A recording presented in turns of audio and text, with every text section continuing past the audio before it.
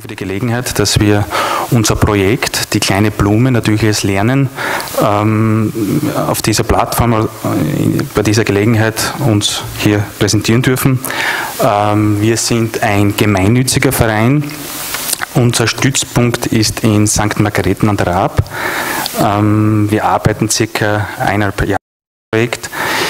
Wir sind eine Alternative zur Regelschule.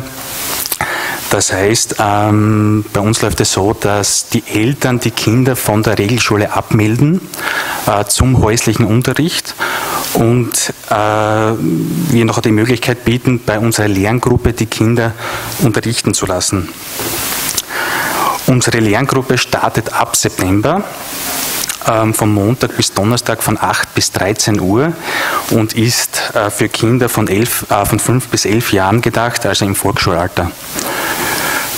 Ja, und ähm, wir lernen in der Natur.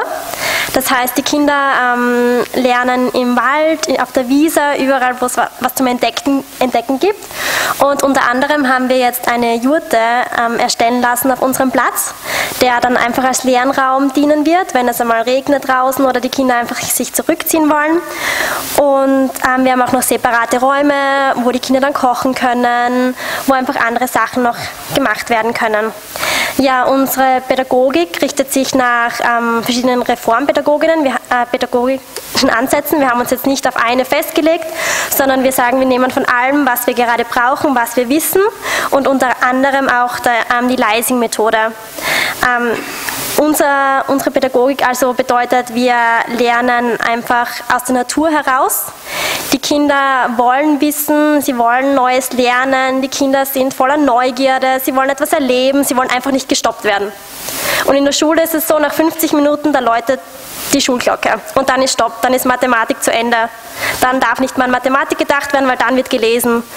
Und das wollen wir einfach nicht. Wir wollen, dass die Kinder den ganzen Tag lernen können, einfach Projekten nachgehen. Ähm, wenn jetzt zum Beispiel, wir machen jetzt Zentimeter, Dezimeter, Meter, dann gehen wir in den Wald hinaus, messen den Umfang von unserem Baum oder was auch immer. Also es wird einfach, wir tun etwas. Wir sitzen nicht nur da, sondern wir gehen, wir spazieren, wir laufen, wir forschen. Ja, und was auch noch wichtig ist, bei uns gibt es keine Noten. Die Kinder bekommen kein Zeugnis, wo oben steht, dass sie etwas nicht gut gemacht haben oder etwas sehr gut gemacht haben und das vergleichen mit anderen, sondern unsere Kinder dürfen ihr Wissen präsentieren an einem Tag, ähm, den wir so nennen, ähm, zeig, was du kannst. Und an dem Tag fahren wir dann zu einer Schule, wo die Kinder dann äh, ein Zeugnis bekommen, sozusagen. Sie dürfen ihr Wissen anderen zeigen, dürfen präsentieren, was sie gelernt haben und bekommen dann ein Zeugnis. Für uns ist das die volle Aufregung, für die Kinder ist das ganz normal und ja, die würden jetzt wahrscheinlich da oben stehen und wären überhaupt nicht aufgeregt, weil es einfach was Besonderes ist, etwas zu zeigen dürfen, was man kann. Ja, und ähm, wir haben noch Plätze frei in unserer Lerngruppe. Und wir freuen uns auch immer wieder über Leute, die sich auch begeistern lassen und bei uns mitmachen wollen.